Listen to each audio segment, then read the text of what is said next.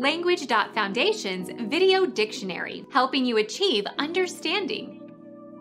Save up as for future use.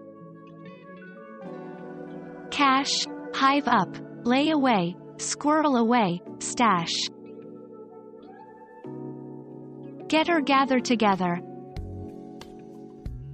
Accumulate, amass, collect, compile, pile up. A secret store of valuables or money. Cache, stash.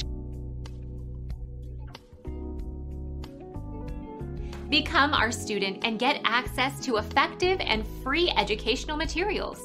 Subscribe to our channel to become a part of our growing community and to learn English effectively.